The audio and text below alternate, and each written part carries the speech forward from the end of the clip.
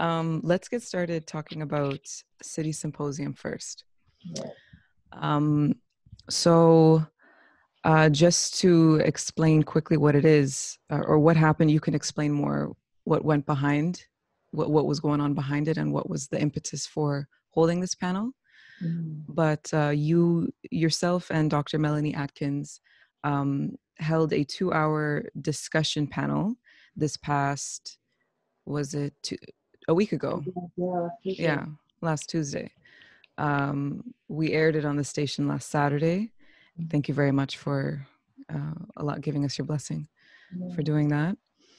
And um, it was uh, sorry, it was led by a group of mostly London based folks, but people mm-hmm. who, even if they were in London right now, um, they actually had made roots in other parts of Canada yeah. as well. Yeah, exactly.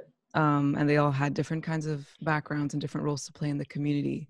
Mm-hmm. And um, was that an intentional thing on on your part and, and Dr. Melanie Melanie Ann's part mm-hmm. um, to have folks who were uh, everyone but one person was currently based in London. Mm-hmm. Um, Boy was based in Winnipeg, Calgary. Calgary. Yeah. Um, but everyone else was based in London. Was that an intentional thing on your part when you were organizing and asking people mm-hmm. to join, to have people who were based in London but had experiences to share from other parts of Canada? Mm-hmm. So initially, when um, I mean, if I could go back um, and share like why we decided to do the city symposium, of bring all of the participants into context as well. Mm-hmm. Um, but on May 7th, um, I actually spoke at the city symposium as a um, guest speaker. Um, mm. The theme was quality education. Um, and so right before I was actually supposed to speak, um, someone went into the chat room and bombarded our chat with horrible words, racist words, right? And it was in bold letters over and over and over again, over 70 times. And I actually recorded it because I'm like, I can't believe this is actually happening. Um, so after, sorry, did you want to? Was it a text? Was it writing in the text or an actual video and them saying it? No, it was a, a writing. Okay. Um, in bold okay. letters. Um, and basically it said, kill all N words uh, repeatedly. Um, and so Dr. Melanie and I knew that it's either, of course, directed at us. Um, other folks were saying that it might be a bot. And I'm like, regardless, it was written uh, with intention. Exactly. Um, and so after my presentation, or actually, Dr. Melanie Ann asked me, do you want to still speak? Because I know this happened right before you're supposed to speak. Do you want to speak or do you want to mm-hmm. um, sit out on this one? Because either way, it's fine. Um, and I told her, I'm like, the what just happened was intentionally trying to silence us. So for me not to speak would be um, allowing them to win.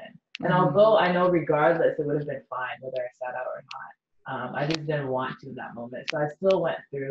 Um, and Melanie Ann was Dr. Melanie Ann was hosting the whole event um, and still had to smile throughout it all. And so I recognized how much we had to um, perform, right? And how mm-hmm. normal it is for us to perform in order to get by, um, in order to succeed. Um, and so after the event, I think a week or two passed, and I'm like, nah, I can't just let this mm-hmm. go by without it being addressed. So I contacted the organizer and asked for um, us to have a, a, symposium specifically focused on anti-Black racism. Mm-hmm. Um, and so when it came to actually um, selecting speakers, um, I really thought about um, people who I knew did work um, and anti-black racism doesn't only affect us in London, Ontario, it affects us globally, right? Um, mm-hmm. And so I didn't care where the speakers came from, but um, because I knew many um, great speakers and activists and, and people that do good work in London, um, it just so happened that majority of them were from there. Um, and then I wanted a young, a young black voice and a young immigrant voice, you know, presented. And so Nya Boy was the first person that came to mind. Mm-hmm. Mm-hmm. Okay, wow. And um, what is what is City Symposium itself? It's an organization. So it's a project. Again, I'm not one of the key organizers, but um, it's a project out of um, CRHESI Center for Health Equity and Research and Innovation, something like that, out of Western.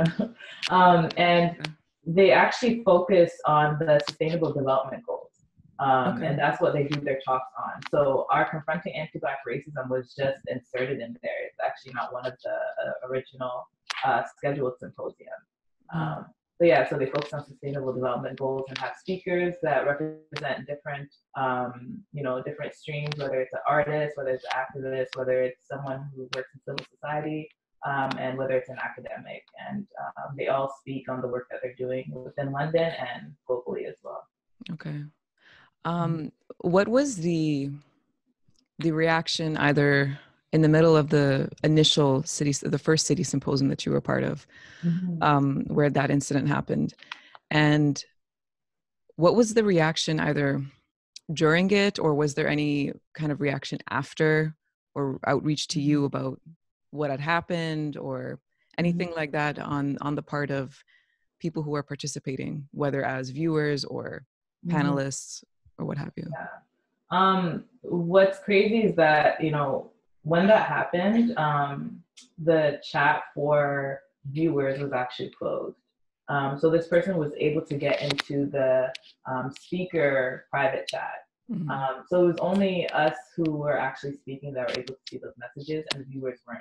Um, oh, okay. Yeah, and okay. so um, Dr. Melanie, after I presented, Dr. Melanie Ann did mention, um, you know, this is what I experienced right beforehand. And I thought it was very important. And I was so thankful that she did, because I don't think I would have mentioned that that happened. Mm-hmm. Um, so she did mention it to the audience um, for transparency. Mm-hmm. Um, and afterwards, um, we did have a conversation about it. Um, a few folks in the audience who know me contacted me directly to, to ask how I was doing. Mm-hmm. Um, and I think it would have been a bit different, right, if um, everyone saw it, right? And I think that's one of the challenges with um, when discussing race. People don't think it's as bad if they didn't witness it. Um, people don't think it's as bad if um, you know they they themselves weren't the the perpetrator, right? And so I question that all the time. Um, how come um, you know you can't have an understanding if it's not presented right in front of you and that's one of the challenges that i feel like we experience here in london because people say that oh london uh, racism doesn't exist in london ontario um, because they didn't hear someone say the n-word um, mm-hmm. but they recognize that in the organization they won't hire black people right and right. so um, it's, it's a really interesting situation and, and the other thing is that um, it doesn't have to be even as hostile as someone exactly. yelling the n word you know exactly. to your face to make it racism I mean, know? yeah, and that's what someone who contacted, like I spoke to, someone who I spoke to about what happened, um, said that they didn't reach out because they didn't realize it was bad, and I was like, really? like mm. I, someone said racism. Someone the, the facilitator and the host said that a racist act took place. That's all you needed to hear. You didn't need to know exactly what was said. You didn't need to come, uh, draw a line to see how uh, hard or difficult it would be to deal with that particular situation. Um, so when people talk about allyship, that's what I question, right? Mm-hmm. Um, what does mm-hmm. allyship allyship look like to you? Um, and so yeah, that's that's why I think it's really important to address allyship and.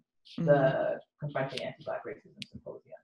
Yeah, that that was a question. Um, mm-hmm. There was actually a few questions on allyship that that were asked.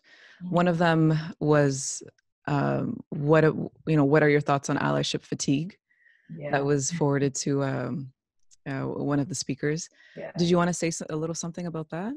Um, you know what? I it was interesting. So a lot of the questions um, I had to reword because Mm. There was over 400 questions that came in. Um, and many people um, wanted to learn about being an ally, which I thought it was great, right? Okay. Um, okay. But at the same time, a lot of them were talking about being tired and how tiring it is to fight for something and being siloed and and I was questioning. I'm like, oh my gosh, what do you think we go through every single day? You know what I'm saying? Okay. Um, yeah. so yeah. I had to kind of compile all of those questions and kind of bring it in. Um, and I understood it as it being allyship fatigue, right? Because many mm-hmm. allies are saying it's, it's very tiring. Um, I don't know what to do next. Um, when do I relax? And so, yeah, I felt like it was necessary to address it. Um, and in talking about allyship fatigue, it, it was answered very um, strongly, right?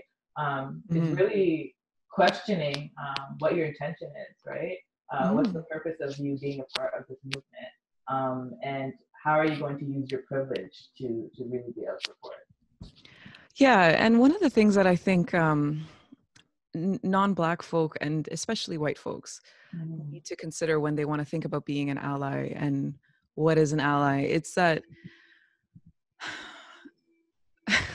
I, I think it's it's a hard question for folks who want to help the cause who mm-hmm. you know don't believe that they have any strong ingrained racism or who maybe acknowledge it and want to you know fight it mm-hmm. um but it's it's kind of like what do you expect somebody to do for the the cause of black liberation and, and black mm-hmm. rights if they don't know any black people yeah. if they don't have any black friends yeah you know what i mean mm-hmm. like if without that close contact um it's almost like or, or this is at least this is my own personal kind of stream of thought here that i'm sharing yeah. with you yeah. but it's almost like uh, there's already kind of this this door of othering that is mm. entrenched in their own minds that they have to learn how to unlock and open mm. but they're right now they're trying to work on the other side yeah. you know they're trying to do the work of allyship and exactly exactly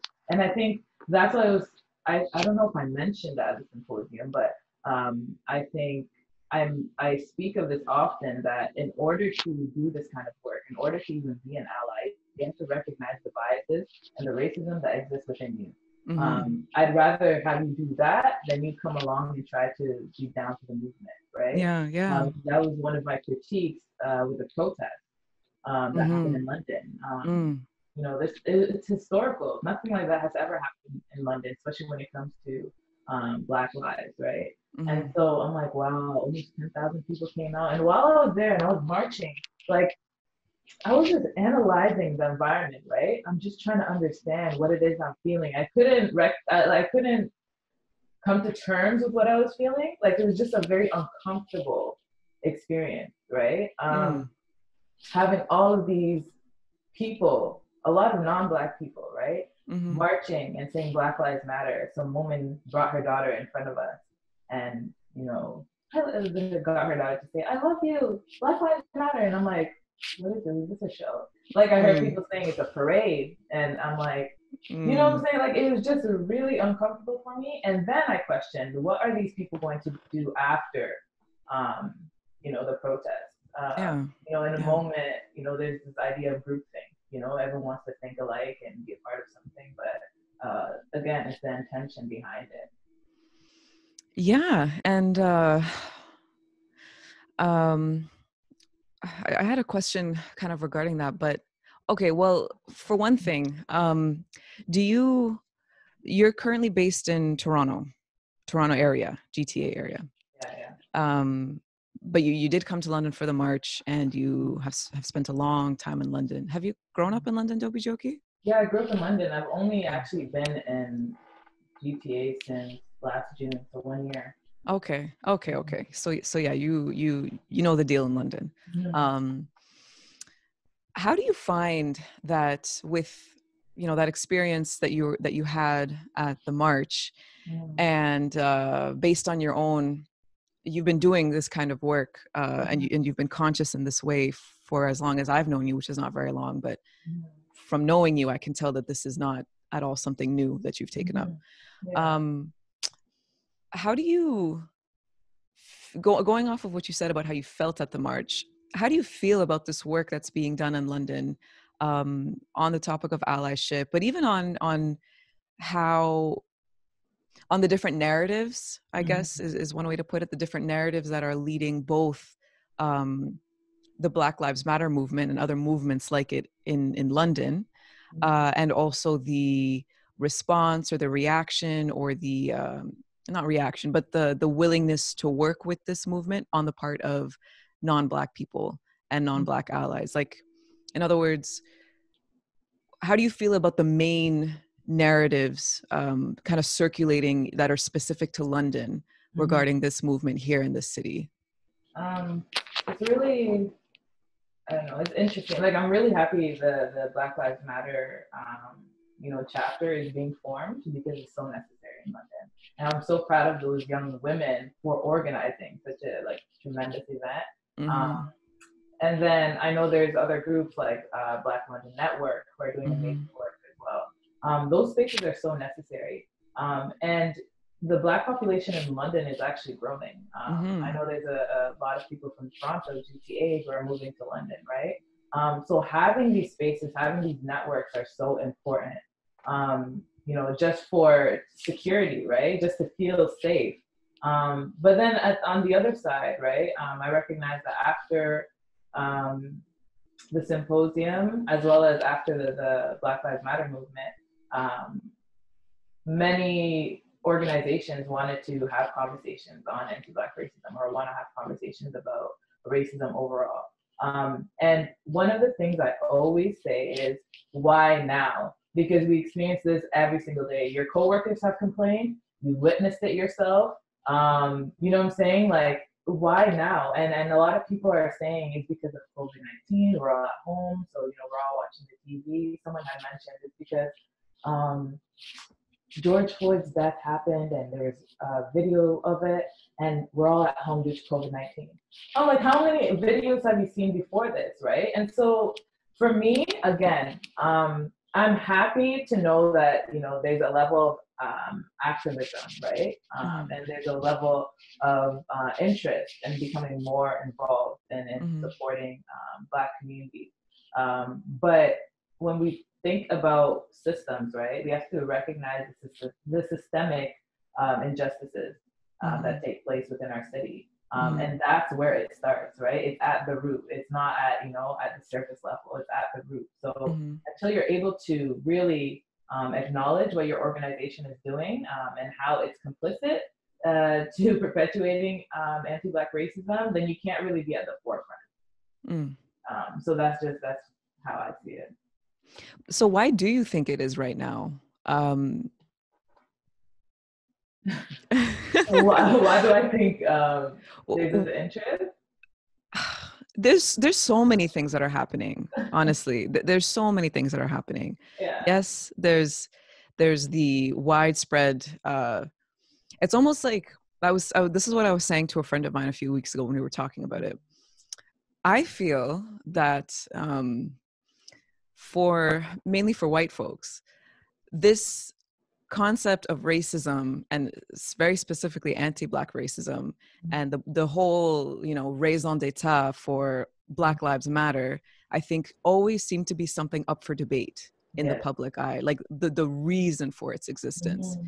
which is systemic racism mm-hmm. it always seemed to be at least in america and you know i don't think this conversation was happening to the aggressive nature that it was in canada up until right now it's mm-hmm. happening now which is good but you know just going off of the, the, the start of the movement in the US uh, and all the things that happened there that caused it, it seemed like this was just something that was always up for debate. And right now, you know, organizations and businesses and corporations and just people, politicians um, who are white are almost like bending to this saying, you know what, you're right. You know, you win the debate. Racism yeah. does exist. Yeah and um to, i was kind of just sitting back and looking at that and being like okay we've been way way way way ahead of this yeah. forever yeah. you know this was almost never really up for debate you know mm-hmm. starting 400 500 years ago.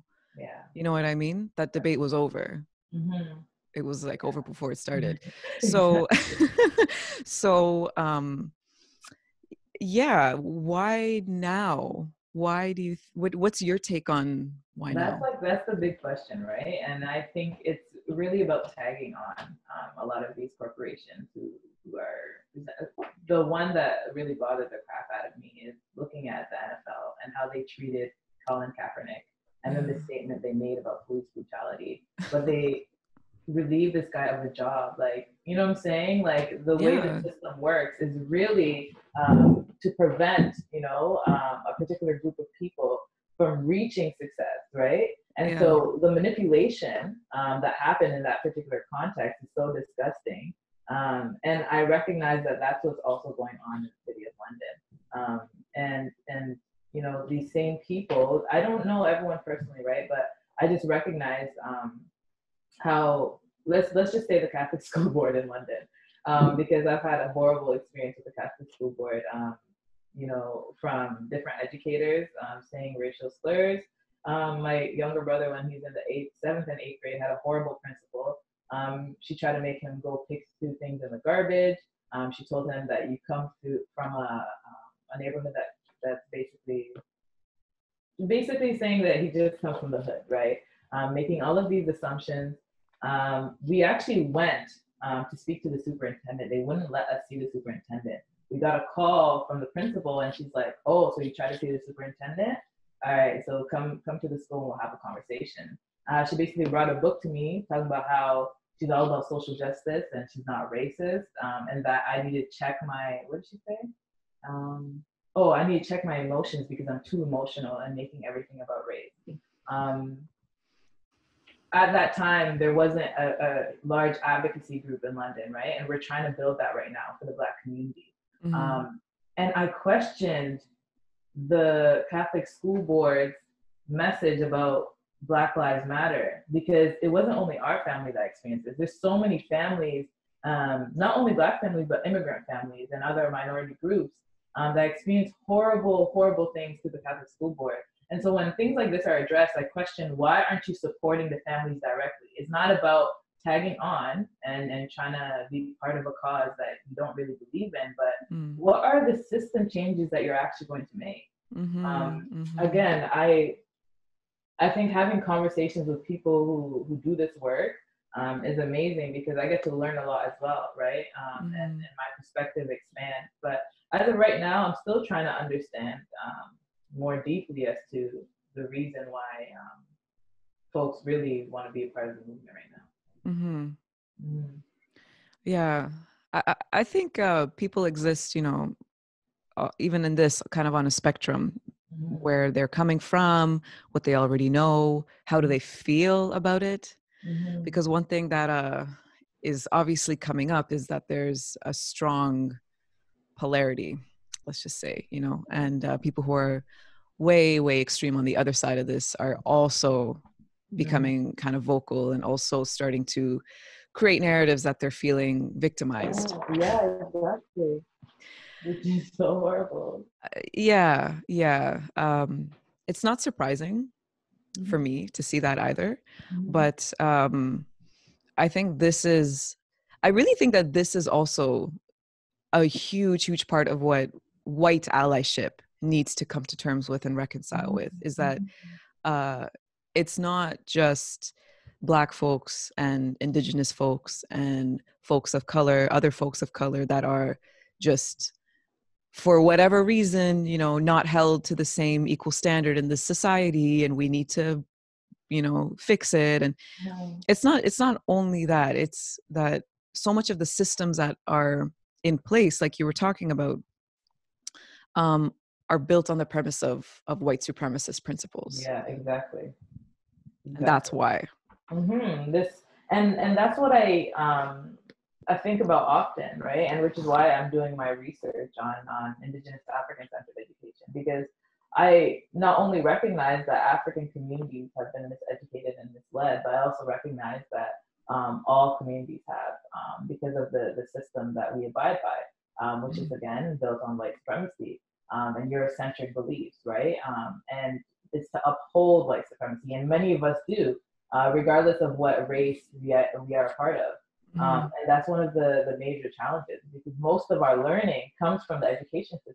Mm-hmm. And so mm-hmm. we're being taught um, to believe certain narratives about communities, and that's what we're going to perpetuate. Um, mm-hmm. Um, you know, there's some people, um, I think your boy mentioned it, you know, sometimes there's people that look like us, um, but really mentally um, they're they're not on the same page, right? And so yeah, they yeah. skin, but they speak um, as if they're white, right? And so we have to recognize that there's so much work to be done overall because of how um, how messed up our education system is, right? Yeah. Um, to prevent us from really learning uh, about the full scope of people's identities, but um, discussing narratives that were perpetuated. Yeah, a hundred percent. And these things go really deep because once again, um, and I'm saying this more so for the people who are listening who might not be so hip to what we're saying, but yeah. just to make it kind of uh, simple. Mm-hmm. Um, you know, Nyaboy was mentioning in in the city symposium, uh, I think about halfway or a little after halfway the talk, mm-hmm. um, the question she was answering had something to do about uh, rewriting history and mm-hmm. also questioning the history that you've been given yeah. and the cost the perceived cost of that to many folks who don't want to let go of the history and the narrative that they've been given because of the perceived loss to their own um i don't know i don't know what it is that ancestral heritage or thoughts of superiority whatever it is you know i'm i'm not going to to mm-hmm. speak for anybody here. Um and just from my own personal experience i feel like if somebody's listening right now and, and they don't their only imagining of narrative is talking about who won which war and who um, you know it it again like it's so much more nuanced and so much more baseline than that for mm-hmm. a person of color mm-hmm. um, to go through something like this and and feel like uh, almost like you're being forced um, by your education system to be ashamed of yourself yeah, exactly. to be ashamed of who you are yeah. um, i have drawings like right there on the wall uh, mm-hmm. because i'm in the basement my mom has put up a bunch of our childhood drawings mm-hmm. i have mm-hmm. drawings where in school we were asked to draw our families and i drew blonde haired white skinned white families yeah for me for my family mm-hmm. what is that you know that's that's self-hatred that's mm-hmm. self-denial exactly. i am not white skinned i do not have blonde hair nobody yeah. in my family does yeah no nobody in my family has light eyes you know what i mean like that represents us in zero in, in no way at all mm-hmm. but that's what that's just a very very tiny example of what you were talking about you know the mm-hmm. importance of changing the narrative and mm-hmm. um you know i think for folks who uh for for white folks you know who have never had to feel uncomfortable about who they are where they come from their name their yeah. skin color yeah. uh that is a very foreign concept mm-hmm. and it's almost like what's the big deal yeah and that's why i think it's so important for people to feel uncomfortable like if you don't feel uncomfortable there's a problem i mean you're not taking in that information especially if you're privileged right um, mm-hmm. and unless you've been doing this work and you've been able to understand but still it will still be discomfort but it's because it takes you away from all that you've known right um, all that you've known is that your ancestors built this country uh, and they freed all of these slaves and you know um, the indigenous people gave us their land so that we could build on it and, and yeah. flourish um, yeah. but we've been provided false information um, and i think another piece of that um, is that not only is the education system um, misleading you know communities misleading children um, but it's part of a larger organization, right? Like it's not only the education system, but it's connected yeah. to other institutions. Um. You know, this connects to employment. This connects to everything that we experience. So our lives are at jeopardy when we don't mm. know ourselves. And if you don't mm. know yourself, then you won't know how to show up in the world. You're going to show up uh, like your white brother, but then you don't get the same opportunities because you don't look like him. You know, um, and so there's there's so many so many layers to it. Um, and again, dissecting it is really really um, about dismantling these aspects of of systematic racism. Mm-hmm. Yeah. And something I've noticed, especially with immigrant communities, is that in the workplace, you know, one of the ways that this translates over in in the workplace or even in just real real world stuff uh, outside of school um, is that when you don't know yourself and you feel once again either an unwanted uh, externality Mm-hmm. You know what I mean? To your workplace, to your team, to the city that you live in, mm-hmm. what have you, to your neighborhood. Yeah. Um, you're also not as likely to stand up for yourself because you're scared of the consequences, you know, of being shut out, of being fired, of being mm-hmm. labeled difficult or angry. Yeah. You know, or hostile. Mm-hmm. Because you've walked through life being Im- implicitly fed these narratives about yourself. Yeah, exactly. Yeah, it's, it's, it's a it's this idea that we all start at the same level, which we do not. We don't all start at the, the same. we don't all have the same race. There's some people who, of course, white people who have hundreds of years um, ahead. And so, you know, this idea of equality doesn't make sense. Um, mm-hmm. Even sometimes I question how equity, and I'm trying to think of what else we could use to really identify the experiences of marginalized communities, right, or minoritized communities. Um, and yeah, it's just there's it's just so intricate. Um, the I I want to ask you though, um, you know, not being, of course, you're a person of color, but you are not black, right? Um, so when the movement um, began in London, or when you know when you you were at the protest, what was the experience for you feeling that, right? And, and did you find a level of connection to the experiences of um, folks who are even speaking on stage? Personally, did I feel a connection? Mm-hmm. mm-hmm. I felt an understanding, not coming from a personal place, but like I I hear you and I, I understand the urgency and the seriousness of this movement and mm-hmm. of of what's happening yeah um you know i'm not to pat myself on the back or anything but i'm i'm not new mm-hmm. to the reason for why black lives matter exists mm-hmm. you know it this is not um as terrible as this year has mm-hmm. been um especially to black folks mm-hmm. i i can't say that i was shocked i mean I was disturbed by seeing the video of George Floyd. I actually couldn't watch it. Mm-hmm. Um, I, I, couldn't really watch it. I just, you know, saw the the the setting and I I knew, um, mm-hmm. especially after reading everything about it. But I I, I couldn't actually watch it. Um, you know, I was I was disturbed by it. But it, to me, you know, I've I've been following this movement and I've been um, I mean, I, you know the kind of music I play. I play a lot of stuff mm-hmm. from like the '90s, and I listen to a lot of '90s music. And and in the music that I listen to, these stories are actually woven into the music. Mm-hmm. Um, I listen to a lot of '90s hip hop too, and you know, so these narratives have almost been taught to. It's almost like it's it's been taught to me through you know music that um, w- actually belongs to Black people as well. Mm-hmm. Um, mm-hmm hip hop belongs to Black and Latino people. Mm. Um, and so again, like I, I, I wasn't um, uh, shocked or or uncomfortable by anything that was set up there. Mm-hmm. I just, you know, I I came very aware of my experience being outside of all this because i don't i don't share that experience you know yeah. I, I, don't share that experience um mm-hmm. but uh i feel solidarity mm-hmm.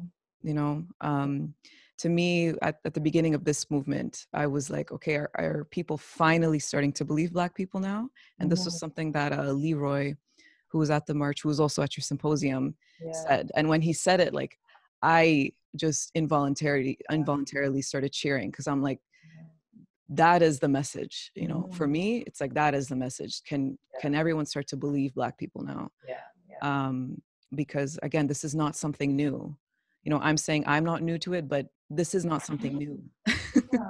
and i think it's so important because um you know one of the things that you know i appreciate but at the same time um i feel like it, it might prevent people from truly understanding the black experience is when we say people of color and we don't identify black explicitly right yeah, um, yeah. because we do have you know similar struggles but the black experience is totally different right For sure. Um, there's so many other you know aspects to it that you know other communities just won't experience or won't understand completely yeah. um, and for someone who is you know aware of these things right and someone who does this work um, and whether it's through media or through whatever the case may be. Um, mm-hmm. Um, I think it's so important that you, you mentioned that, that, you know, you don't have that particular experience, but mm-hmm. um, it's really about solidarity. And yes. I think that's what white people need to understand because they want to be able to feel it in order to be a true ally or to feel, um, you know, like they are part of um, part of this movement. But you don't need to truly feel what we feel. You need to understand uh, your privilege, right? Um, yeah. recognize the oppression that's taking place. For sure, for sure. Because even, um, you know, we'll, we'll society will hopefully get to this conversation when it's time um, about how you know colonization and white supremacy has affected the rest of the world because it's affected mm-hmm. everywhere in the world but right now right now is the time for uh, black folks to get their dues mm-hmm. um, i think other what other people of color uh, can think about is for those who have experienced um, racial profiling i mean it's racism and, and racial profiling and things like that in some cases yes it, it can be you know similar functions and, and similar kinds of things that are done onto you but in a lot of ways it's different you know like if you're a middle eastern person things or if you're a middle eastern looking person mm-hmm. you know there are certain stereotypes and tropes and mm-hmm. words and um, behaviors that affect you specifically because of the way that north american society perceives people from that area which is mm-hmm. different in many ways from how same same said folks perceive mm. um, black folks you know yeah. african descendant people in mm. in this part of the world and mm. it's not to start doing like a uh, a discrimination olympics really yeah, yeah, exactly. it's not about that it's about it's just about being in solidarity yes you know what i mean aware, and being aware for each other if we're not trying to become aware right? Yeah. I hear a lot of people saying, "Oh, this is not only a black issue; other experience, other people experience this." Of course, that's why we're telling you that Black Lives Matter. Right. you start there. exactly. oh my gosh, it's just so hard to have to continuously express this um, because you know what I also appreciate about Black the Black Lives Matter movement is that not only um, it was started by Black communities, but it was a very intersectional movement. Yes um, yes. the trans community, right? Um, yes. That, that was a big part of, of starting the movement. Yeah. Um, and how that intersects with all these other things. So mm-hmm. um, there's so many intersections within that. And I think what is beautiful is that, you know, we also recognize that we're on indigenous land. Um, mm-hmm. And that's, that's a focal point as well um, in mm-hmm. order to actually um, participate um, in the movement. And so mm-hmm. if you're unable to um, acknowledge that you're on indigenous land, then you're not going to be able to acknowledge that Black Lives Matter. Mm-hmm. Right? There's just mm-hmm. there's so there's pieces that you have to go by in order to truly be an ally and be a supporter. So um, I right. think these things are so important for us to understand. Mm-hmm. That's mm-hmm. right. That's right. Um, yeah, the, the leadership at the level of Black Lives Matter, um, just speaking on what the organization itself has shown itself to stand for, yeah. is so like it's it's almost um it's almost like mind blowing on on how they can encompass all of this in one time you know like powerful. huge props to the it is powerful it is mm-hmm. powerful um and people are going to you know find all these holes and all these issues whether it's with the movement or whether it's with um, even being selective about what they stand for mm-hmm. within it yeah. um and I don't know. Like there's there's a lot of people in this world, and it's hard to you know ensure that mm-hmm. everyone is going to all fall, all run under, and, and hold up the same flag, and you know fight mm-hmm. for the same cause, because you know some people might do so for their own interests. You know, mm-hmm. same thing with being allies. It's it's yeah, the exact same scenario. Might be doing it for their own interests or for the you know the perceived benefit that they think they'll get from showing solidarity with the movement. Mm-hmm. Um, were there questions about Black Lives Matter forwarded to you for the city symposium? Um, were there? I mean, there was something that I was just like shocked when I read it, but someone sent a question and they said, um,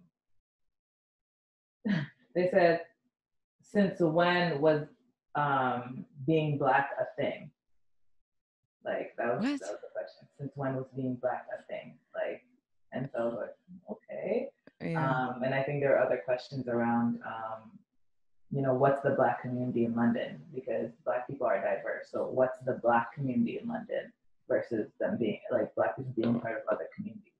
And so there's this misunderstanding or this this lack of understanding as to what being Black even means, which I question because, you know, you don't see me like I, I just question what this idea of you not knowing what black is right and that's a lot of the time when people say they don't see color um, mm. it's not that they don't see my skin it's that they don't want to see my experience right and they don't want to mm. understand mm. what i'm going through and so i felt like that's where those questions were coming from oh i don't see color i love everybody so what what does it mean to be black right mm-hmm. um, and yeah so it, it, was just interesting to, to get questions like that but again um, there's a lot of learning that needs to be done and it's not up to um, us to really educate everyone um, but rather it's about presenting a platform for us to really um, speak to our experiences um, and if we do want to educate then we do that on our own terms but um, i think people who want to be allies or people who just want to learn more about themselves need to actively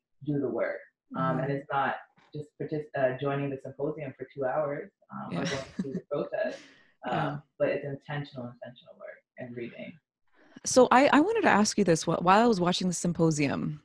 Um, it occurred to me that um, there might actually be, uh, there may or may not be an intended audience for the symposium. Mm-hmm. So was there, and uh, or who was it meant for? To be honest, there wasn't an intended audience. Um, okay. We just wanted to have the symposium to address uh, one, what took place on May 7th, and 2 mm-hmm. to discuss anti Black racism.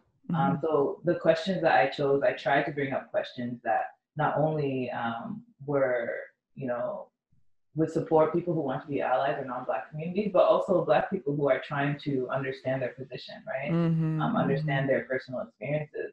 Mm-hmm. Um, and I think for me, it was really important to do that because we're all trying to learn about ourselves. This is like, although we've been experiencing this our whole lives, we're all trying to navigate this life, um, mm-hmm. this world, um, in positions that are very, I don't know. It's just like we're all trying to navigate. We're all trying to learn.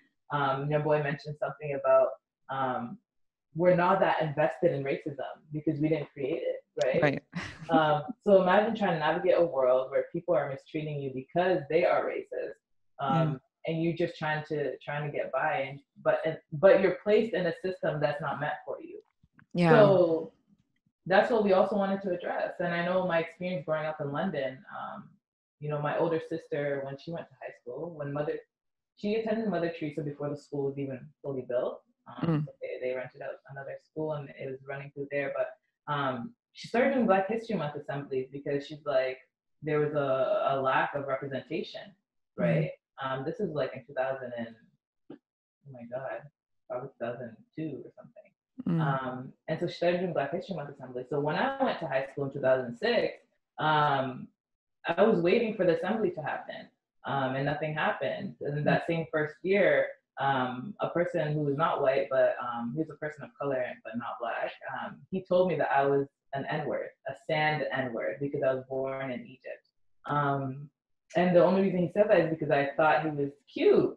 You know, like my friends told him, oh, she thinks you're cute. And he's like, oh, you're a sand N word. And mm-hmm. then, you know, all of these things transpired. And so I'm like, first, I'm waiting for the Black History Month Assembly. That doesn't happen.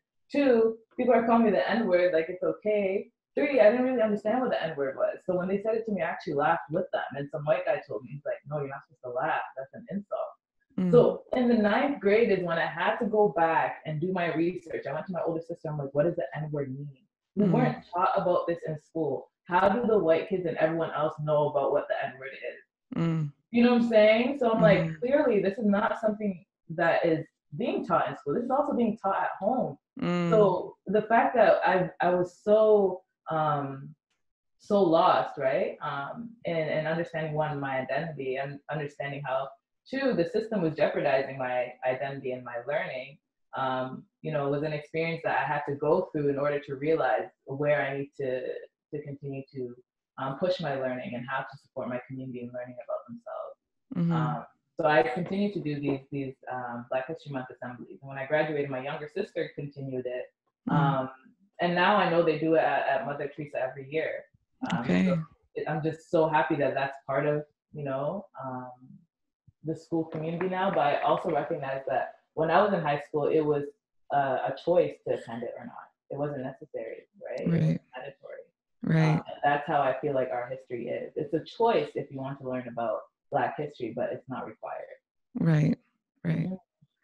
Um, big ups to to the sisters in your family. Yeah. Um, for starting that that especially at you know a Catholic high school. That's pretty big. Mm-hmm. That's pretty big. We didn't have that in our high school. We definitely didn't have a Black History Month. No. Yeah, yeah. I. Oh, grew up in London. I grew up in London. Yeah, I left for university, mm-hmm. um, and then I came back just last year. But oh, yeah, but I did go to high school here, and um, yeah, I, I do not remember us having one. I really, really don't think we had one. And then in elementary school, I think we had it one year mm. in mentioning, perhaps, and we learned about Martin Luther King. Uh, and that was just about it. I mean, it was interesting in grade 10, my sociology book had um, Bob Marley and Nelson Mandela. That was like the only black people we learned about. And then I was like, oh, Bob Marley, all right. You know, well, those are some pretty good, yeah, good figures yeah. to learn about, though. In uh, school. That's impressive. Yeah, Bob Marley. I'm like, okay, that's cool. And then um, Nelson Mandela, and I'm like, yeah. that's important. Yeah. Um, but in the context that we learned it, I was just, I just felt like there could have been more. Like now that I'm older, I'm like, oh my gosh, we could have learned so much more. And not only because Bob Marley's a singer, we weren't learning about his activism. We were learning about his music. Um, okay. and and it wasn't connected to his activism because of, of course he um, he used his music as activism. Yes. Um, but that wasn't the context that it was taught in. So now that I'm older, I'm like, oh my gosh, there could have been so much more. Um, yeah. Which is, you know, what the conversations are going on right now about how we could change the curriculum. Yeah. Yeah. Mm-hmm. So, um, what uh, we kind of talked about this earlier, but f- going back to the symposium and the questions that you received, mm-hmm. um, what did you learn about, let's say, the city of London, or about you know your audience, your intent, your general intended audience, through the questions that you were receiving? Mm-hmm. Um, I think it was like I think I visualized or I was able to read questions in the context of which I understood um, mm. that London was, right? Um, I recognize that London is not very diverse. Um, London um, has not openly, um, you know, had conversations like this. Um, and so when I received the questions, I'm like, okay, yeah, it's, it's, understand- it's understandable. Like these, these communities have not been taught about, you know, Canada's true history or about the diversity that exists within it. Mm-hmm. Um, so I didn't feel any kind of way. Like there's of course questions that I was shocked by mm-hmm. because I'm like, really? You just asked what does it mean? Like since when are people black? So those little things that I was just, you know, I was a little shocked by. But otherwise, I think it was really important that people felt comfortable to ask these questions um, mm-hmm. because then we could actually address it. And I think I thank everyone who did um, because we tried our, our best to um, bringing them all together um, and have some some questions answered. However, um, like I mentioned before, if they weren't answered, um, it's really about doing personal work because that's what it's all about. It's not about mm-hmm. just participating. You should have, if you did participate, um, I hope if folks did participate, I hope they got um, you know various perspectives mm-hmm. that they mm-hmm. could apply to their learning. Mm-hmm. And I hope they gain some resources um, that they could apply to their learning. Um, but again, it's, it's all about um, the intentional work that one does on their own. Yes. Yeah, absolutely. Mm-hmm. um, and I'm I'm glad that this is becoming part of the standard answer for these questions. That it's like, listen, it starts with you. You know, mm-hmm. it starts with yourself because this is the easiest place for people to begin. And I think it's also mm-hmm. the the simplest beginning for somebody, especially yeah. if they are a beginner to all of this. Mm-hmm it's to ask themselves and i've been asked this question you know I, w- I was actually asked this question a few people messaging me mm-hmm. and i was just like well just start within you you know mm-hmm. like i start within you and ask yourself like mm-hmm. um again going back to like my specific context which is mostly music mm-hmm. um you know people were asking me uh mentioning stuff about the kind of music that they're into and uh i was like well ask yourself why are you into this kind of music Mm. what about it you know if it's if it's black music mm. what about it are you into and how mm. do you feel when you're listening to it you mm-hmm. know how do you envision and visualize the artists who created this music mm-hmm. and their people mm-hmm. um, because you might say well i don't i don't actively do that no you might not actively do that but you probably subconsciously do yeah. so you got to catch that you know mm-hmm. and and see if it's something humanizing mm-hmm. or uh or maybe maybe not whether it's something humanizing whether it's something dehumanizing mm-hmm. um and uh, I'm I'm sorry to ask you kind of a very big question with the last ten minutes. Yeah. Um, but uh, this quite you you made me think of this um, a few minutes ago, and I'm going to try to keep it simple because it's kind of not fully formed formed in my own head. But um, you know, we were talking earlier about uh, being a person of color, a non-black but person of color, mm-hmm. um, and being a part of this uh, this movement. Mm-hmm. Um, I haven't spoken to too many uh, other folks of color who are non-black uh, friends of mine about this, mm-hmm. but I mm-hmm. feel like it'd be an interesting conversation to have when the time is right. But it's talking about um, intersectionality yeah. uh, between, um, you know, between these different kinds of cultural or ethnic communities. I'm not sure what's the right word to use really anymore. BIPOC. BIPOC, sure. Um, and, uh, you know, like I think there has to definitely be a, a, a reasoning or uh, some kind of like process by which BIPOC, you know, other BIPOC, mm-hmm. um, mm-hmm.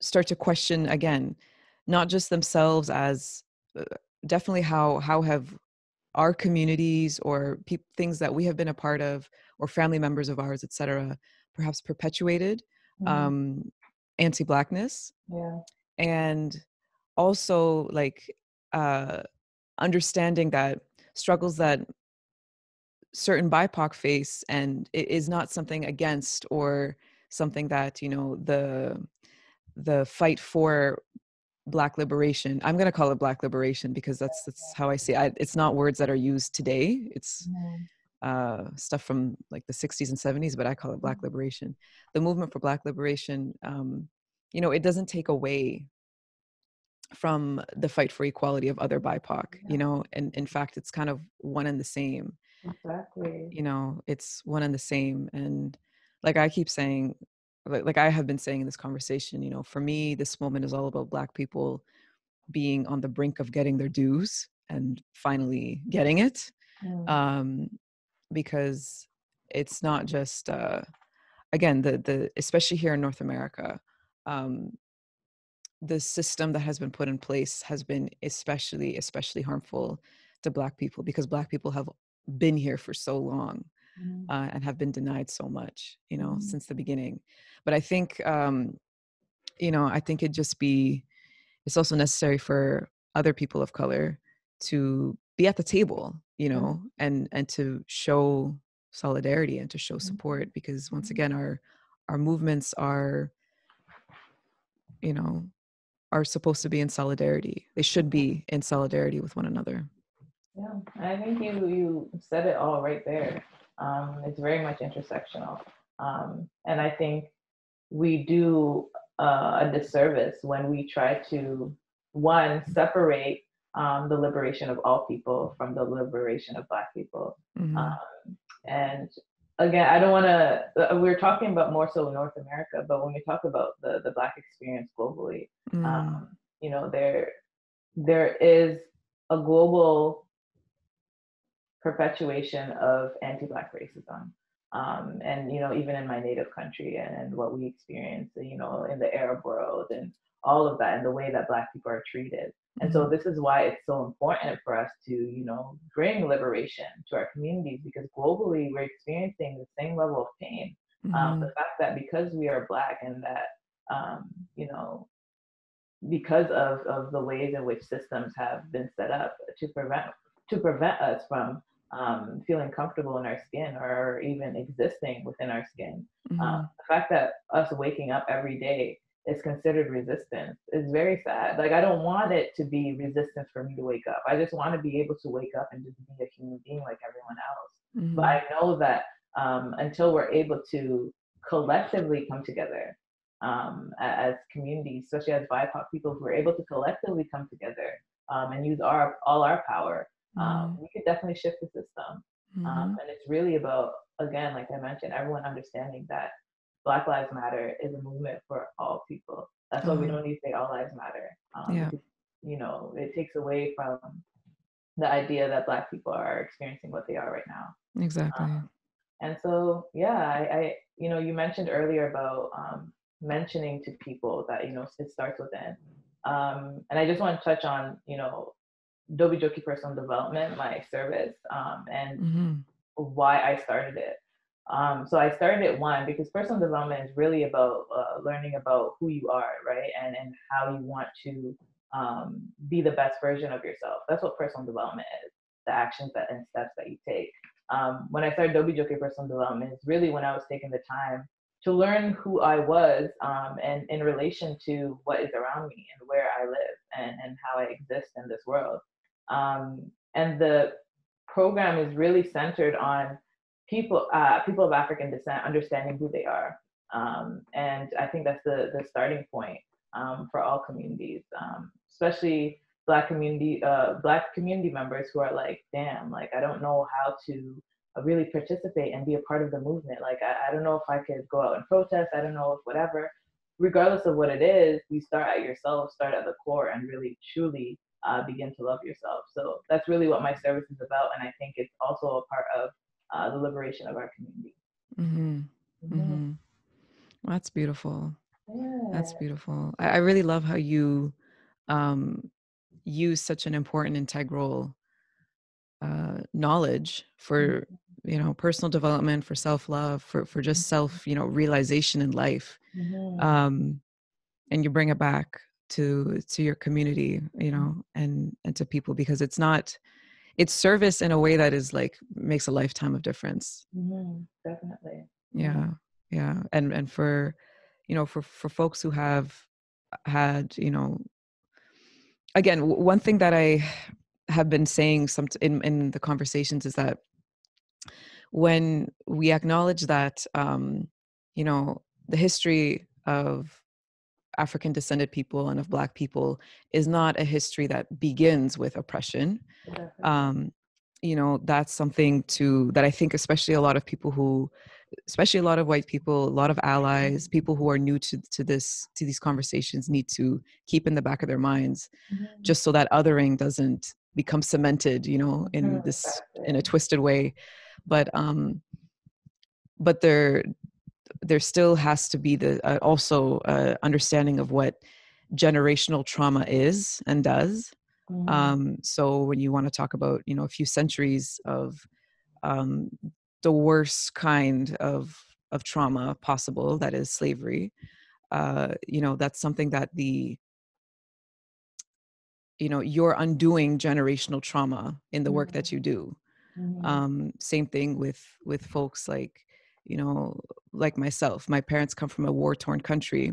Yeah. Um, we're from Afghanistan, which has been in war and in turmoil since the beginning of time. Like I have not, maybe that maybe that is something you know new history books need to be written. But of all the history that I've read of Afghanistan, there's always been invasions and yeah. war and etc. And so generational trauma exists in that way too. So mm. you know whatever it is, um, it's it's what trauma is trauma. You know. Mm uh, and when it's done so heinously and so systematically and so publicly, mm-hmm. um, you know, I think non-black people really, really have to honor that mm-hmm. um, about black people's experience. You know, mm-hmm. they have they have to honor what has been done, mm-hmm. and more so, what is the impact and what yeah. are the effects? Yeah, because yeah, because that's that's still ongoing. You know, because like we like i was saying this stuff just repeats itself over this mm-hmm. generational trauma mm-hmm. it's uh, until it's broken yeah you know in the lineage it it mm-hmm. carries on uh, very much so mm-hmm. so yeah so that work that you're doing i hope you view it that way no definitely and i Good. think it, it, took me some time to understand it that way um, because mm-hmm. You know the the fight for me to understand who I was um, was really about me just trying to exist and trying to feel good about existing, right? Mm-hmm. Uh, trying to support my community and doing the same. So I didn't mm-hmm. really put it into that context until you know recently. Um, but I think again, it's there's so much work that we have to do, and there's so much internal work that we have to do um, you know, over the course of our lifetime to to make sure that we we fight for our liberation. So I think I think it's beautiful to be able to have conversations like this uh, because it opens my eyes to new perspectives as well, just the dialogue that we're having. Mm-hmm. Um, and I think that's why that symposium was so good because I think it opened the eyes to so many people um, mm-hmm. about the different perspectives that were offered um, mm-hmm. and and the fact that these things need to continuously happen um, mm-hmm. because it is education. Um, mm-hmm. and I hope that folks saw it that way. Yes. Oh, they for sure did. And it was so rich mm-hmm. in conversation. Like the conversation was very, very rich. Mm-hmm. Uh, so I think that is that goes a long, long way, especially right now where, mm-hmm. you know, don't hold back. Yeah. Say what you really think and what you really feel. And mm-hmm. that is that is very, very enriching. Mm-hmm. Yeah. Yeah.